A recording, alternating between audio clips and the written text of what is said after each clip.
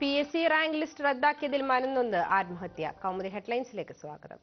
P S C rank list റദ്ദാക്കിയതിൽ മനംനൊന്ത് ഉദ്യോഗാർത്ഥി ആത്മഹത്യ ചെയ്തു. തിരുവനന്തപുരം വെള്ളറ തട്ടിടമ്പലം സ്വദേശി അനുവാണ് ആത്മഹത്യ ചെയ്തത്.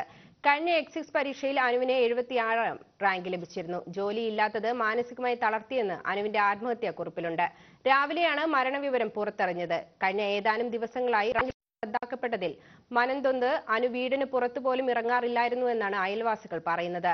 എംകോം ബിരുദധാരിയാണ് അനു. കുറച്ചു ദിവസമായി ആഹാരം വേണ്ട. ശരീരമൊക്കെ വേദന പോലെ എന്ത് ചെയ്യണമെന്നറിയില്ല. കുറച്ചു ദിവസമായി ആലോചിക്കുന്നു.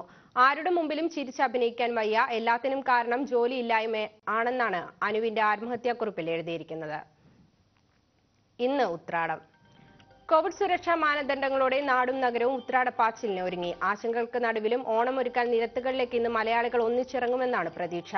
കഴിഞ്ഞ ദിവസങ്ങളിൽ പരിമിതമായിരുന്നു കച്ചവട കേന്ദ്രങ്ങളിലെ തിരക്കെങ്കിലും. ഇന്ന് സ്ഥിതി മാറുന്ന വിശ്വാസത്തിലാണ് വ്യാപാരികൾ. ആൾക്കൂട്ടം ഒഴിവാക്കാനായി പ്രധാന കച്ചവട കേന്ദ്രങ്ങളിലെല്ലാം നിയന്ത്രണങ്ങൾ ഏർപ്പെടുത്തിയിട്ടുണ്ട്. സാമൂഹ്യ അകലം പരമാവധി പാലിച്ചാവണം കച്ചവടമെന്ന് വ്യാപാരികൾക്കും നിർദ്ദേശം നൽകിയിട്ടുണ്ട്. കടകളിലേക്ക് കുട്ടികളെയും പ്രായമായവരെയും കൊണ്ടുപോകരുതെന്ന് സർക്കാർ നിർദ്ദേശിച്ചിട്ടുണ്ട്. ഓണത്തിന് കച്ചവടം പൊടിപൊടിക്കാനുള്ള പൂവിപണിയും ഇത്തവണ കാര്യമായ ചലനം ഉണ്ടാക്കിയില്ല. രാവിലെ ഏഴ് മണി മുതൽ രാത്രി ഒൻപത് മണി വരെയാകും ഇന്ന് വ്യാപാര സ്ഥാപനങ്ങൾ പ്രവർത്തിക്കുക. സംസ്ഥാനത്തെമ്പാടും നിയന്ത്രണങ്ങൾ കർശനമായി പാലിക്കുന്നുവെന്ന് ഉറപ്പാക്കാൻ പോലീസുകാരും രംഗത്ത് ഇറങ്ങിയിട്ടുണ്ട്. സാധനങ്ങൾ വാങ്ങാൻ ആളുകൾ കൂട്ടത്തോടെ നഗരങ്ങളിലേക്ക് ഇറങ്ങുന്ന സാഹചര്യം ഒഴിവാക്കാനുള്ള പരിശ്രമങ്ങളാണ് പോലീസ് നടത്തുന്നത്. ഈ കോവിഡ് മഹാമാരിയുടെ കാലത്ത് ഓണാഘോഷം മിക്കയിടങ്ങളിലും പഴമയിലേക്ക് തിരിച്ചു പോകാനാണ് സാധ്യത. പ്രതിസന്ധികളെ അതിജീവിച്ച് ഐശ്വര്യവും സമൃദ്ധിയും സന്തോഷവും നിറഞ്ഞ നാളുകൾക്കായുള്ള പ്രതീക്ഷയാണ് ഈ ഓണക്കാലം പകരുന്നത്. തട്ടിപ്പിൽ പരിശോധന. പോപ്പുലർ ഫിനാൻസ് തട്ടിപ്പ് കേസിൽ സ്ഥാപന ഉടമ റോയി ഡാനിയെയും ഭാര്യ പ്രഭാ തോമസും കീഴടങ്ങി.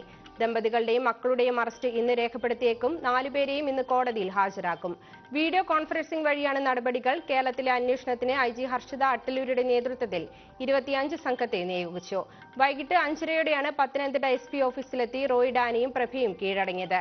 രണ്ടാഴ്ചയായി ഇരുവരും ഒളിവിലായിരുന്നു. വിശ്വാസവഞ്ചന സാമ്പത്തിക ക്രമക്കേട് തുടങ്ങിയ വകുപ്പുകളാണ് ഇവർക്കെതിരെ ചുമത്തുക. ഇന്നലെ രാത്രി ഏറെ വൈകിയും ജില്ലാ പോലീസ് മേധാവിയുടെ നേതൃത്വത്തിൽ ഇവരെ ചോദ്യം ചെയ്തിരുന്നു. ചോദ്യം ചെയ്യലിന് ശേഷം റോയിയെ അടൂർ ക്വാറന്റൈൻ കേന്ദ്രത്തിലേക്കും പ്രഭ റിനു റിയ എന്നിവരെ പത്തനംതിട്ട വനിതാ പോലീസ് സ്റ്റേഷനിലേക്കുമാണ് മാറ്റിയിരിക്കുന്നത്. വകയാറുള്ള ആസ്ഥാനത്ത് നിന്ന് നിർണായക രേഖകൾ പോലീസിന് ലഭിച്ചു. ആശങ്കയിൽ രാജ്യം. രാജ്യത്ത് കോവിഡ് വ്യാപനം രൂക്ഷമായി തുടരുന്നു. സംസ്ഥാനങ്ങളിൽ നിന്നുള്ള കണക്ക് പ്രകാരം ഇന്നലെയും എഴുപതിനായിരത്തിന് മുകളിൽ പുതിയ രോഗികൾ ഉണ്ടായതാണെന്നാണ് വിവരം.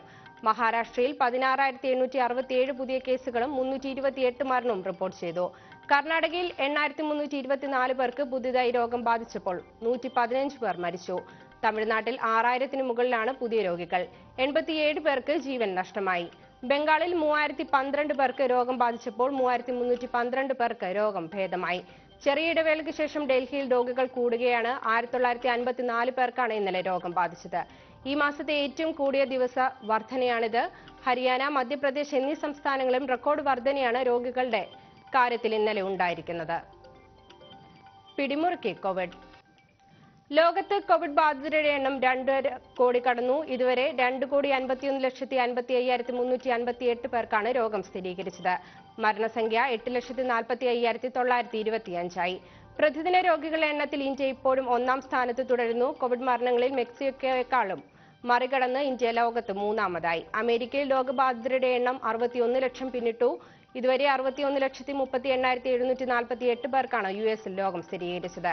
മരണസംഖ്യ ഒരു ലക്ഷത്തി എൺപത്തി ആറായിരത്തി എണ്ണൂറ്റി അൻപത്തി അഞ്ചായി ഉയർന്നു.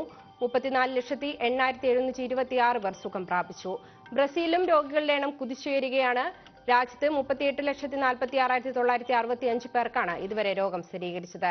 മരണസംഖ്യ ഒരു ലക്ഷത്തി ഇരുപതിനായിരത്തി നാലായിരത്തി തൊള്ള ക്ഷമിക്കണം. മരണസംഖ്യ ഒരു ലക്ഷത്തി ഇരുപതിനായിരത്തി നാനൂറ്റി തൊണ്ണൂറ്റിയെട്ടായി മുപ്പത് ലക്ഷത്തി ആറായിരത്തി എണ്ണൂറ്റി പന്ത്രണ്ട് പേർ രോഗമുക്തി നേടി.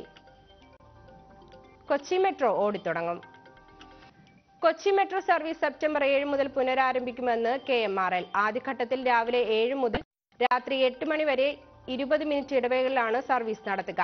പൂർണമായും കോവിഡ് മാനദണ്ഡങ്ങൾ പാലിച്ചാണ് സർവീസ്. ഓരോ സ്റ്റേഷനിലും ഇരുപത് സെക്കൻഡ് വീതം നിർത്തി ട്രെയിനിന്റെ വാതിലുകൾ തുറന്നിട്ട് വായുസഞ്ചാരം ഉറപ്പാക്കിയാകും സർവീസ് നടത്തുക. ആലുവയിൽ നിന്ന് തൈക്കുളത്തേക്ക് നിന്നുള്ള അവസാന ട്രിപ്പ് രാത്രി എട്ട് മണിക്ക് പുറപ്പെടും.